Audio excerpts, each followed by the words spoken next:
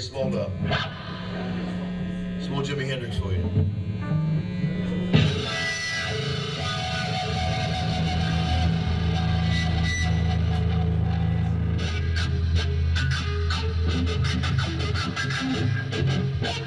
Thank